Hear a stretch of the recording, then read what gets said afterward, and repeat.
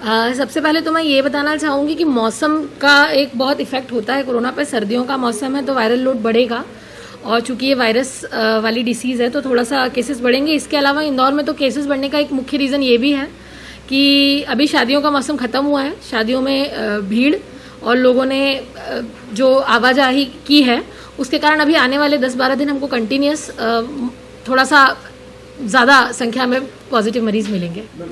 जब तक वैक्सीनेशन आ गया है, ये सबको पता है, जब तक वैक्सीन अभी लग नहीं रहा है, तब तक बिल्कुल मास्क लगाएँ, एक उचित दूरी का का नियमित पालन करें और ज़रूरी हो तभी छोटे बच्चे और बड़े लोग घर के बाहर निकलें। क्योंकि ये इस वायरस की चपेट में ज़्यादा आते हैं। हम लोगों के एनालिसिस में निकलता है कि 51 की एज से ज़्यादा वाले लोग को खतरा ज़्यादा होता है।